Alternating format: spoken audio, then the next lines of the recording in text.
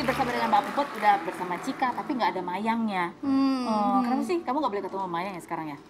Mungkin Mungkin, mungkin sambil ngelirikmu. Kapan terakhir ketemu Mayang? terakhir itu tanggal berapa ya itu? Waktu pemotretan ya? Mm-mm. Lupa. Dua minggu yang lalu? Ah, enggak. Seminggu ya. Seminggu yang lalu. Oke, baiklah. Nah, eh, ini pertanyaan tadi ya nyambung. Benar nggak sih bahwa sekarang tuh Pak Pak Dodi itu udah ada gitu yang men- membantunya mentransfer tiap bulan, mau kasih modal usaha gitu. Fitnah atau fakta, Mbak Puput?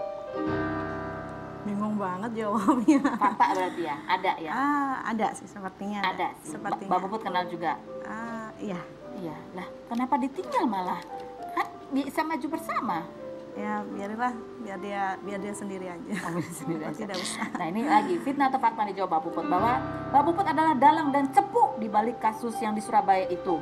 Itu semua karena balas dendam karena eh, almarhumah sempat menolak mengorbitkan anak kamu, Cika. Fitnah, fitnah banget, fitnah banget.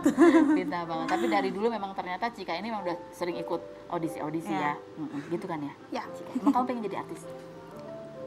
pengen jadi artis itu sebenarnya cita-cita dulu doang. Dulu doang. Kalau sekarang pengen jadi apa? Sekarang ngikutin alur aja lah. Ngikutin alur aja. Kita mau tunjukin foto ya sekarang ya. Kalau kamu lihat foto yang berikut ini, Cika, eh, apa yang apa yang punya kenangan apa buat kamu? Dengerin kayak cara ngebawel kali ya, curhat. Ngebawel. Mm-mm.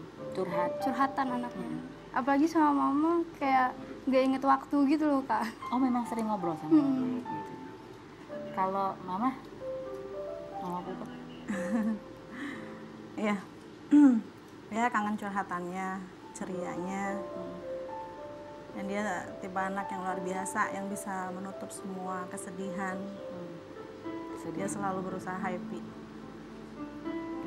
Kamu suka curhat juga nggak ke Kak Eca? Aku kan dulu masih kecil ya curhat juga curhat apa. Curhat apa? Hmm. Yang berikut coba kita lihat.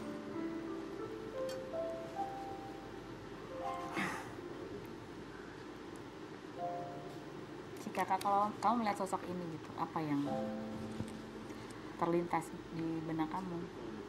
Ya hebat bisa ngelewatin situasi ini. Tapi kamu sendiri sama Pak Dodi deket?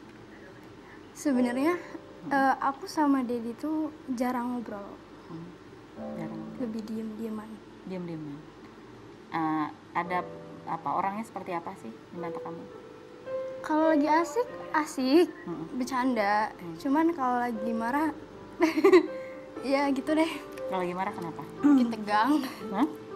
Tegang.